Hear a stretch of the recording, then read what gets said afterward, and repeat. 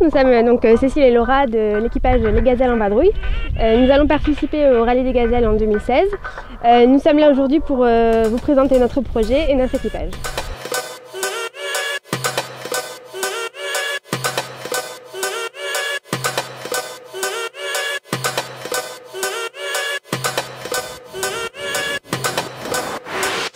Donc je suis Laura. Du coup moi je suis Cécile. Donc Cécile, donc, elle euh, vient de terminer donc, sa, thèse en chimie. Elle est actuellement en postdoc donc, dans un laboratoire euh, sur Toulouse. Euh, donc Cécile, c'est quelqu'un de, je dirais, de fiable, qui parle beaucoup.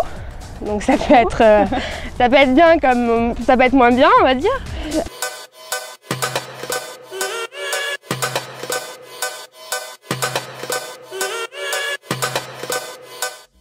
Bah, Laura. Donc euh, elle a 27 ans, elle est toulousaine mais pour l'instant elle m'a un peu abandonnée, elle est sur Nice, et italienne aussi.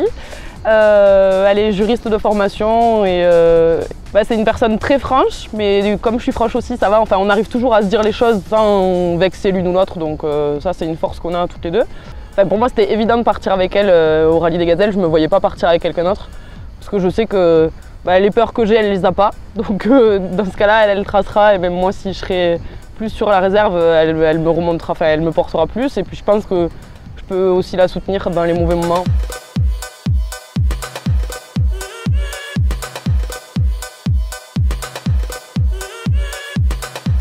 Bah, du coup, euh, pour le rallye, pour donner une dimension un peu plus concrète au rallye, on a décidé de courir pour une association que Laura a trouvée, qui s'appelle Travel with the Mission.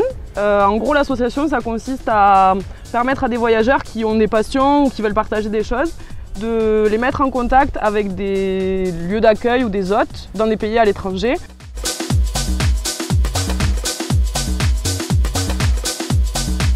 Euh, soutenir notre équipage, les gazelles en vadrouille, c'est faire confiance à un équipage solide, fiable et surtout très motivé. Mais c'est également associer votre image à des valeurs fortes telles que le, le dépassement de soi ou la mise en avant de l'image de la femme. N'attendez plus et rejoignez-nous dans cette aventure.